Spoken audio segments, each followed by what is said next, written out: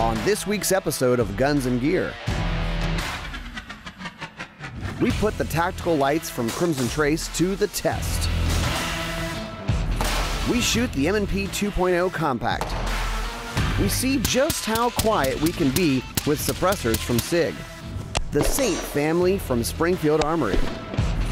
We're going to tell you what happened to this safe when we shot it up into the sky. Oh, look at that!